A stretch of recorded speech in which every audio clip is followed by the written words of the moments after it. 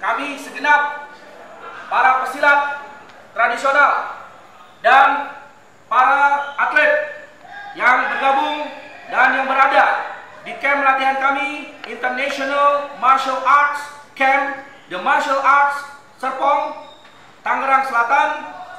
Kami mendukung dan berpartisipasi untuk kegiatan The Golok International Festival tahun 2020 kami mendukung Golok Go to UNESCO bersama Laskar Suku Betawi.